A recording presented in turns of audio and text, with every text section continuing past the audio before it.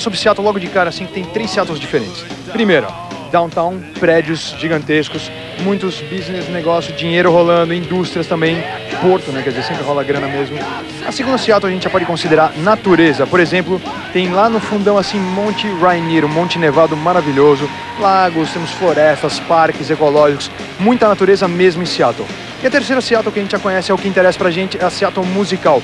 Muita música mesmo, não é papo furado aquele papo. Seattle Sound, Seattle sei. Existe mesmo muitos nightclubs. A gente vai estar cobrindo alguns nightclubs, mostrando algumas entrevistas exclusivas para você. É só aguardar Gastão Cobre Seattle.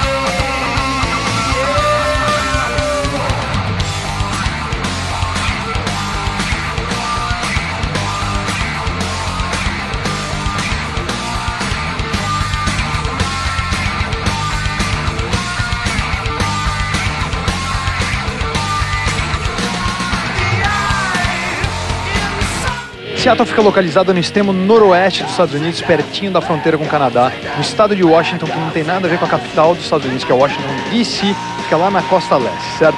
Bom, é cercado por água, aqui é uma baía, então onde você olhar tem ou mar ou tem lago, tem muita água mesmo ao redor. É que as pessoas adoram cerveja, principalmente cerveja local, aquele velho protecionismo, né? Ah, cerveja nossa é melhor, bebem cerveja o dia inteiro e café também, café é um dos grandes vícios da população daqui. Outro vício também é a música, né? Como o tempo é meio ruim, chove bastante, o pessoal fica a maior parte do tempo então em garagens, ou ouvindo ou tocando, e essa é a razão porque tem tantas bandas boas em Seattle.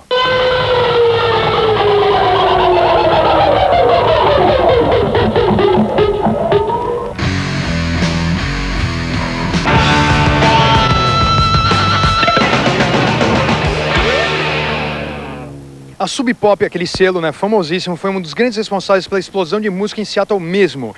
Com isso, né, com toda essa explosão musical, aqui realmente tem um dos catálogos mais bem servidos de música alternativa nos Estados Unidos. Isso referente às lojas de música. O que a gente vai fazer agora? A gente vai visitar uma loja de discos, você vai ver só o que tem de coisa boa. Só conferir.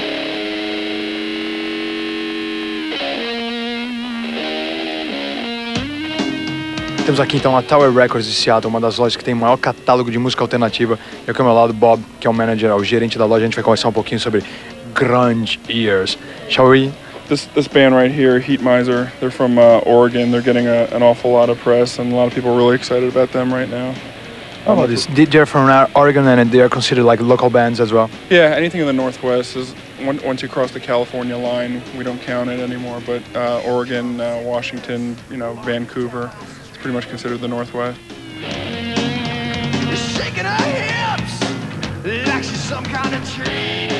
How, how was this section like five years ago? There um, was there so many local bands. We had about two rows, and then each year we'd expand like two or three rows, and then three or four, and now we're up to you know we've got three full racks, probably about uh, 28 or 30 rows now. So we have no idea what that means. That, that's a, it's a foreign word here. Just people who aren't from Seattle and from the Northwest use the term grunge, but uh, yeah, around here it doesn't mean too much. How do do you think that they use this insist in using this? Uh, it's, it's, an easy tag. It's like using the word alternative or disco or uh, heavy metal. I mean, you know, they're, they're just tags for people who don't really understand the music.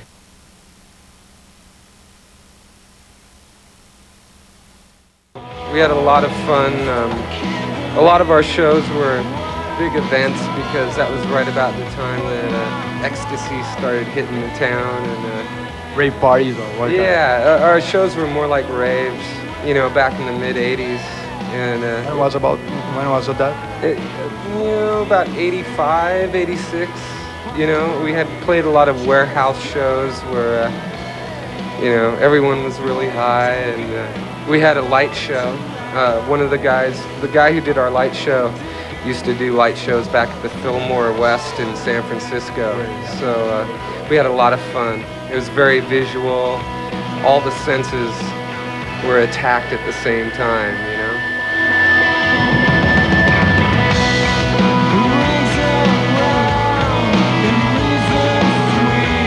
Everybody who was a musician in Seattle had a day job also. No one was supporting themselves making music. What were you doing then? I was working at Muzak with uh, a lot of the other people, uh, the Sub Pop people, you know, um, Bruce Pavitt, Mark Arm, Tad, Grant from the Walkabouts, a lot of the people. We all worked at Muzak, and uh, we all worked full time, and then we played, you know, shows and uh, worked hard at trying to, to, to make a living at, at Muzak, music. Say, not Muzak, because we were making a living at Muzak.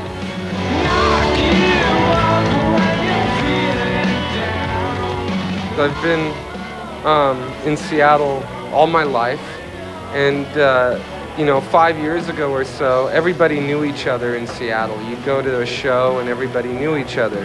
Um, Bruce was my roommate. Um, roommate. yeah, and we shared an apartment with Bruce's girlfriend, and uh, our we needed a new bass player, and so I asked Bruce, who was my roommate at the time, and he said yes, and so he's our new bass player. Uh, not because he was in, you know, Mother Love Bone or Green River, which were great bands, but because he's our friend. The name of the record is called Far Gone, and it will be out in July on Sub Pop Records.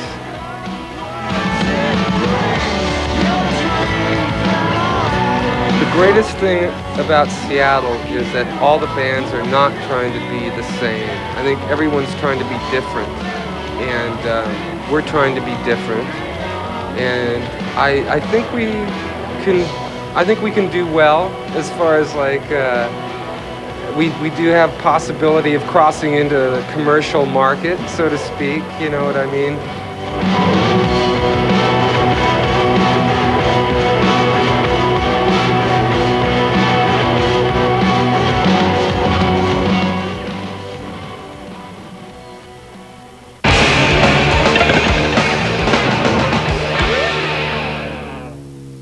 Muitas bandas também que tocam por aqui. Tem show praticamente toda noite, tem muitos nightclubs. Você vai andar por aí, você vai ver, tem show de tudo quanto é tipo. Por exemplo, estivemos aí no show de George Clinton, um dos maiores fenômenos da música, o criador do funk, praticamente, aquela mistura de funk com música psicodélica. Ele tem uma banda chamada P-Funkadelic All Stars. Gente teve lá no show, conferiu e conversou com George Clinton, figuraça, maior figura mesmo. 52 anos, muita energia ainda no palco. O show durou mais ou menos 3 horas e meia. Conferindo agora uma entrevista histórica com Mr. George Clinton. What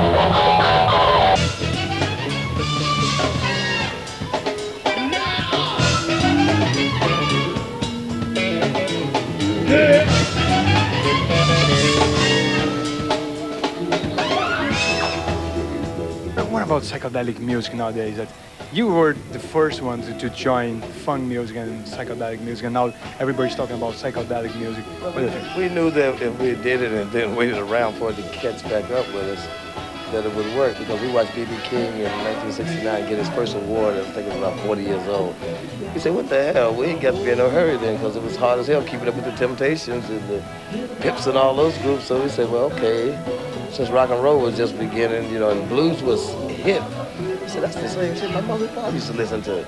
So if that's hip now, so probably rhythm and blues with a little speed to a little groove to it, probably be hip in a few years too. So we just did that and took funk as the name and made it kind of, you know, psychedelic.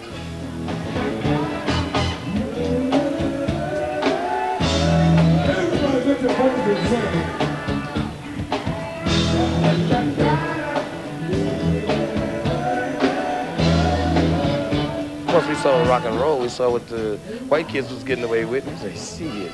We really know how to do that shit because you know, we from down south all that before. poor. We knew what patches and jeans meant. We knew how to you know, do that good. So we got real crazy with the costumes. And matter of fact, we got silly.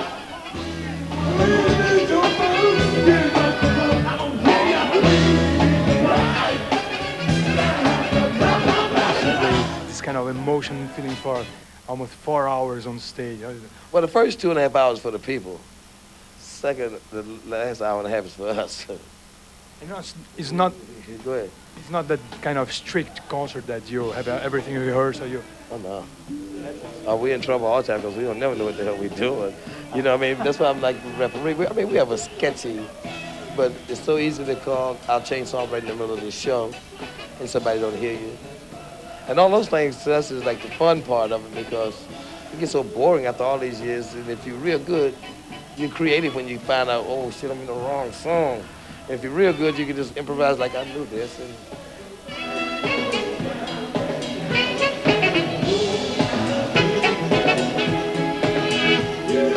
Well, you're kind of godfather of one of the most popular bands nowadays. That's Red Hot Chili Peppers, and you produce some albums. What do you think about that? Oh, they're my boys. They're my boys. You know, I got them out to the farm where I live when they first, you know, asked me to do the record.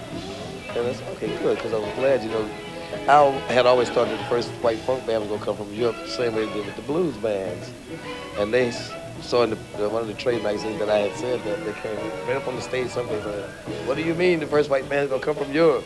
We're from here. We're going to be...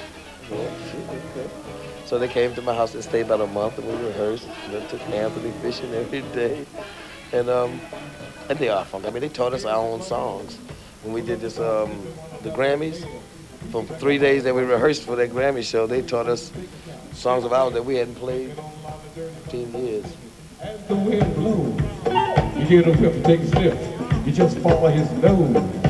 Omac Uncle had some drugs. C-I-A-I-O. That's the way we are. Just, we rather just go on in and do the show. You start out doing it in the gym and in the in the little small clubs and places like that. So you should always be able to do that. You know, then you don't have those extra headaches of uh, worrying about how the show should have been because the reality is how it was. If, if that's the way it is, that's the hump you can do. So I mean, funk is like do the best you can and funk it with a smile on your face. Yeah, I mean, you do the best you can. It really ain't in your hands no more. U.S. Custom Coast Guard dope dog, nickname Buster. Like most dope sniffing dogs, you gotta have it. Trained to have at it. Pick up the tracks of the traffic of the traffic like a rabbit. Up the coastline.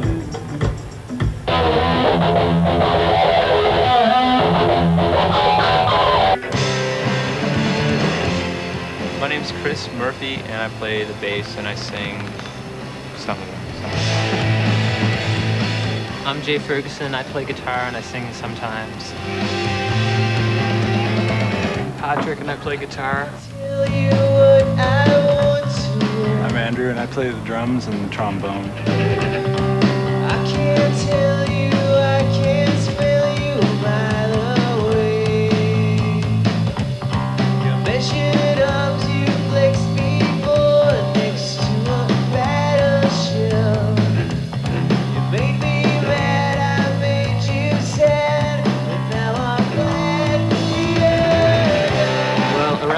There's lots of different bands in small towns that you would never think of just because they don't have exposure, and that's the same thing with Halifax.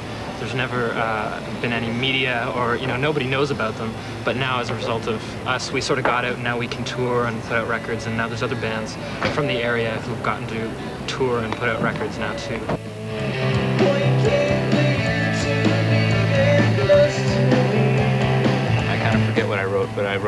This article called uh, Canada, the Music Ghetto of the World. And because Canada is often thought of as being this backward sort of little brother of the States, sort of, um, okay, well, it's been out for four years in, in, uh, in the States, so let's jump on it now. It's like way behind the times, sort of like uh, Loverboy and uh, all these embarrassing bands. You know, the big band in, in, in Canada is Bryan Adams, so you're playing in Germany and they go, Bryan Adams. And you're like, look, I have to explain, no, that's wrong.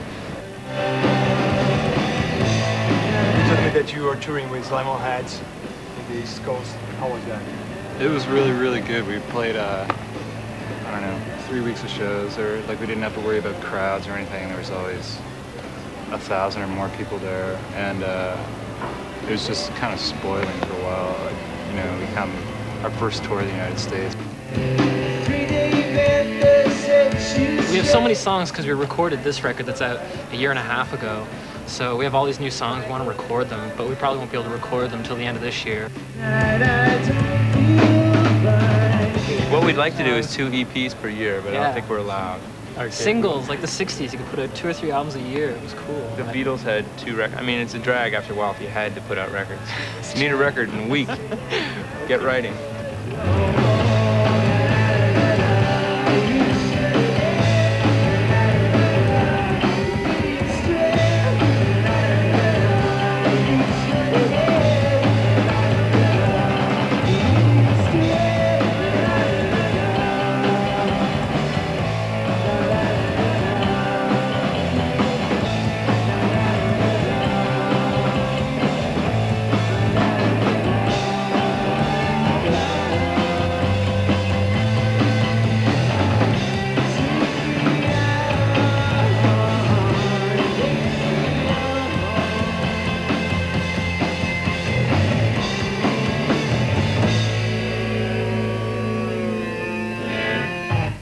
E vamos ficando por aqui. Amanhã tem muito mais Gastão Cobre Seattle. Amanhã tem uma entrevista exclusiva com Daniel House. O cara, primeiro, já tocou no Skin Yard, trabalhou na Sub Pop e tem a CZ Records. Ele é o proprietário, um dos selos mais promissores ao lado da Sub Pop aqui de Seattle. Inclusive, na semana a gente vai ver muitos videoclipes exclusivos, bandas que você nunca ouviu falar ah, que banda é essa? Você vai ver exclusivamente. E são bandas promissoras, de repente você vai ouvir falar muito, como por exemplo, Three People. É só aguardar, amanhã tem mais.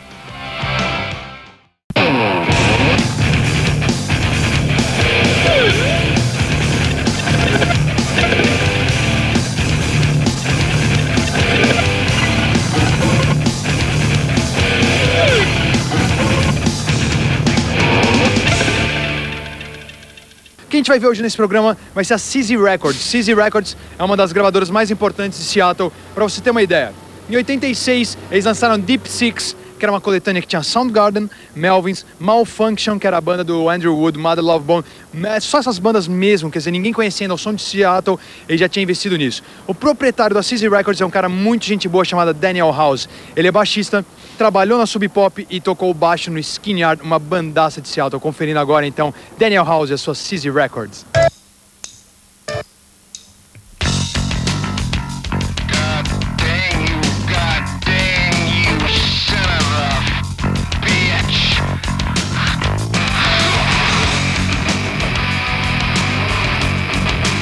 Yes! CZ Records, os melhores selos de Seattle, e a gente tá aqui entrando. Bom, vem, comigo, vem comigo aqui. Bom, o dono desse selo é Daniel House, o cara era baixista do Skin Yard, também um grande produtor, já produziu um monte de banda, a gente vai mostrar o catálogo. Diz que o escritório deles, assim, momentaneamente, porque eles estão se mudando em duas semanas para um escritório bem maior, como ele próprio falou. Ele tá preocupado, aí ele falou, poxa, tá uma bagunça aqui. Mas quem se importa com bagunça? Quem interessa é o som. You were you are the owner of this label for many years, and you used to play in Skin Yard as well. How do you how do you manage that? Uh, well, it was it was difficult. I actually worked. Uh, I ran my label. I worked at Sub Pop, and I was in Skin Yard all at the same time. And uh, it was kind of like being a juggler most of the time. Um, it finally got to a point where I had to make choices in, in terms of what I wanted to do and what I didn't want to do. And uh, so i after six and a half years, I quit playing in Skin Yard, and uh, I left Sub Pop after two and a half years, and put all my time in, into this. Skin Yard was around for six and a half years when I quit, and uh, I think it was a lot of hard work, and I think we were very much ahead of what was going on in Seattle. I think I think we just got tired of working so hard for so many years, and we finally just had to move on and do different things. You know, I think I think had the band started two or three years later, uh, we could have been really big, but Why do you think that you didn't become really big? I just think we were doing something before everybody was ready for it. We felt the need to do other things. I mean, you know, Barrett is now in Screaming Trees, and, and Jack is doing his production thing, and I'm doing this, and this takes up all of my time. And Ben is in Gruntruck, and uh, everybody seems to be doing better now with what they're doing than any of us were doing in all the time that we were together in Skinyard. I mean, we were a hard-working band, but people seem to think that since we had other interests as well, that, that Skinyard, we were never serious about that. And that was just, that was never the case. Were, no, we were always very serious about it and worked hard. And, and back then in the early days, we toured more than most of the bands in the area. And we always did better outside of Seattle than we did here in Seattle. Actually, originally, I started the band with Jack, and I, I sought him out because I'd been in two bands previous. Let me get this.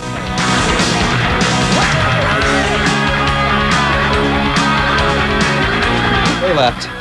Um, I was in two bands before Skinyard. One was called 10 Minute Warning, and uh, people from 10 Minute Warning was Duff McKagan, who went on to Guns N' Roses, and Greg Gilmore, who ended up going on to be the drummer of uh, Mother Love Bone. And then I was in another band at the same time that was an all-instrumental sort of progressive rock band, and we were called Feedback. And that was uh, me with a drummer, Matt Cameron, who's now in Soundgarden. And uh, both bands broke up, and I kind of wanted to start a band that was ultimately the combination of both. And uh, I had met Jack through Feedback because he was friends with the guitarist in that band, and uh, he had played, brought in a bunch of his tapes of him playing everything. And so I found, you know, after the bands broke up, I sought him out, and we uh, we finally started getting together and working on a band, and just kind of came together from there. I'd like to show the legacy. Okay. Here we go. Under protest, here's the here's the Skinyard legacy. This is uh, our first release, just titled Skinyard. Um, it was the third release on CZ Records. Um, it has since been licensed to Cruz Records in Los Angeles. This is our second record, many people's favorite. It's called Hallowed Ground, and it came out on uh, uh, Toxic Shock Records um, in Arizona. That contract will be up this June, and uh, we don't know who's going to be reissuing it, but maybe it'll be Cruz, maybe it'll be CZ. I don't know. This is our third record. Personally, my least favorite. My least favorite. Many people's favorite. Who knows? Uh, it's called Fist Sized Chunks. I know I can't probably say it in the air. We'll just show it to you. We'll let it speak for itself. This is the last record I did with the band, and it's called 1000 Smiling Knuckles. Personally, this is my favorite record. I think it's the best performances that we ever did in the studio. I think it's the best songwriting. Um, I think this is our most cohesive record. After this, you you quit the band. I was just tired of it. I had, uh, For the best record. well, I didn't think we could do a better one. What, what better time to leave than after our best record?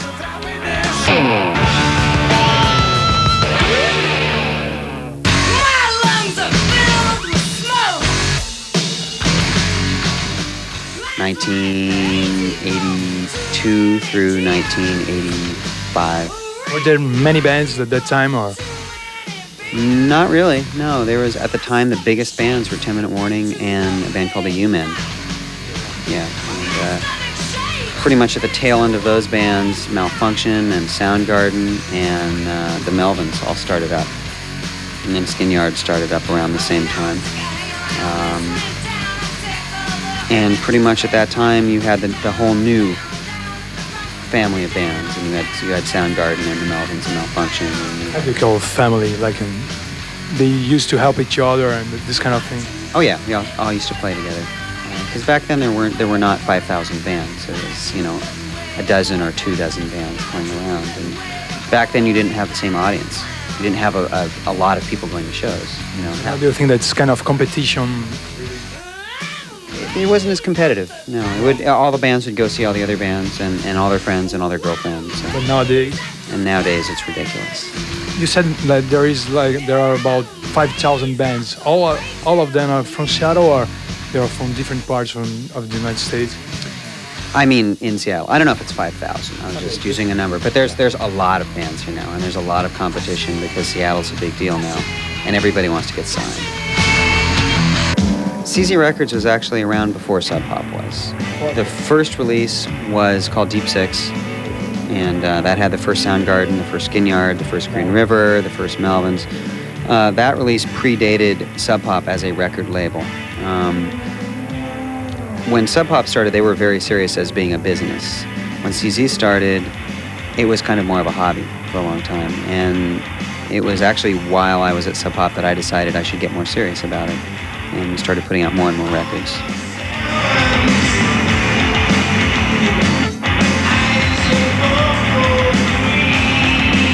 Yeah, actually, A&M Records is going to be putting it out. Um, we just figured that we couldn't, because of our size as a label, we couldn't move enough units of that record, so we decided that we might want to license it to a major label, and uh, we get points on it. So it's sort of a, it's an A&M CZ co-release.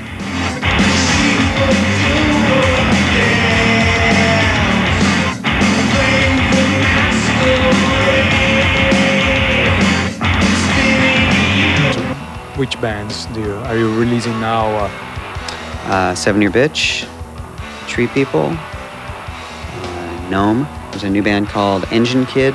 There's a new band called Dirt Fisherman. All in all, we have 12 bands. We've- got a lot to work with. We also have a band called uh, Gits, um, Alcohol Funny Car, and Gnome.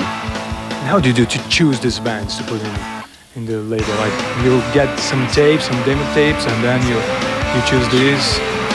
Mostly I see them and I hear them. Um, we get a lot of demo tapes, but most of the time we don't sign a band because we hear a tape. We have to see the band and we have to kind of be more involved in, uh, in actually meeting them, talking to them, seeing them live, seeing how they work off of an audience. Um, we don't have any guidelines as far as we want a band that sounds like this. Either it, it works or it doesn't for whatever reason. CZ Records has a particular feel, I think, but I don't think they have a particular sound. I, I generally prefer bands that that really have their own sound, that don't sound like another band. Because if they sound like another band, why not just work with the other band?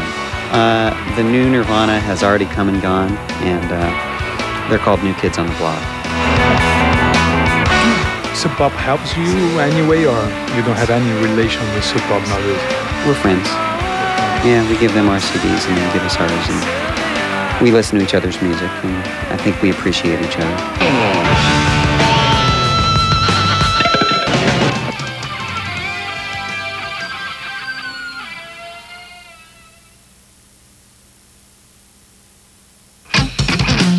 Se você ligou seu televisor agora, isso aqui é Pioneer Square em Seattle. Era um antigo centro de Seattle, né? Quando a cidade pegou fogo e tal, já aconteceu essa história.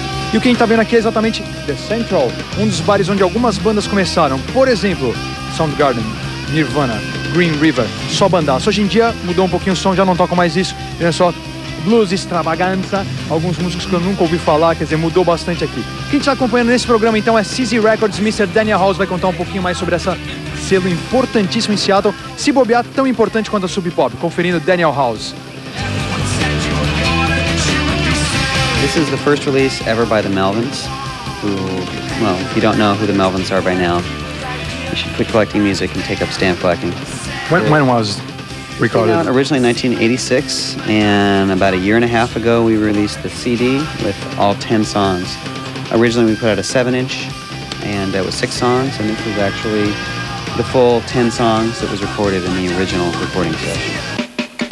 Alcohol Funny Car is a band you'll be hearing a lot from soon. Uh, they're a three piece. They play very loud, direct, in your face, punchy punk pop. And uh, I say? Trio. You'll be you'll be they're a trio. You'll be hearing a lot from them. It's uh it's kind of a Minneapolis thing, but they'd probably have my head if they heard me say that. Uh, this is Gnome. They're uh, a band that's currently getting a lot of interest. Uh, they're a very very catchy kind of power pop band. Um, they've been compared to bands like Cheap Trick, uh, Buzzcocks, even T-Rex. I think they're a lot punchier than, huh? Kind of. I just think of them as, as really good songwriters with a really powerful live show. I think they're great. Seven Year Bitch. There we go. I, I, I am sure by now you've, you've heard of Seven Year Bitch. I certainly hope so. Um, they're Seattle's premier all-woman punk rock band. They are not riot girls, as people like to call them. They are of people. They're feminists certainly, but they're not riot girls. Um, they're very visceral, very idealistic.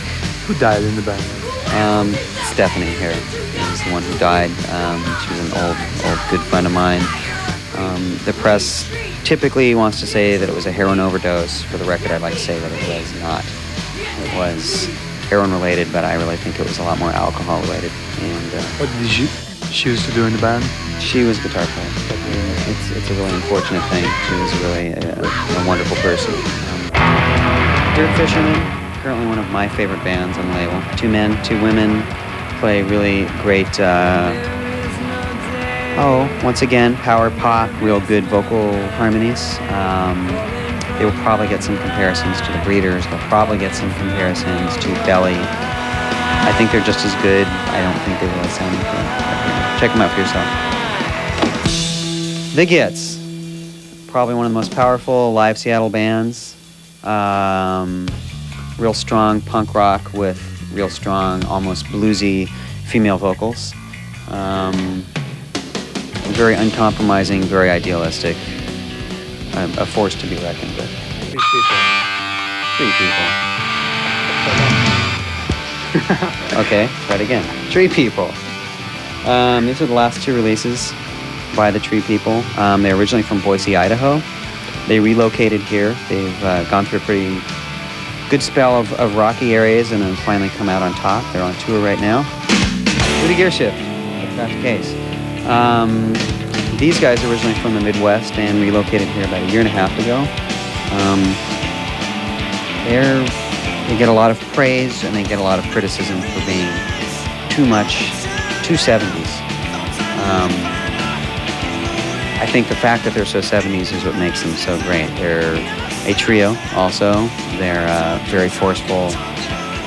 They're probably a little too edgy to really be considered too 70s. Um, they, they take some of the best aspects of, of 70s hard rock with some of the better aspects of punk metal, I suppose. Um, do something that's really pretty, pretty unique.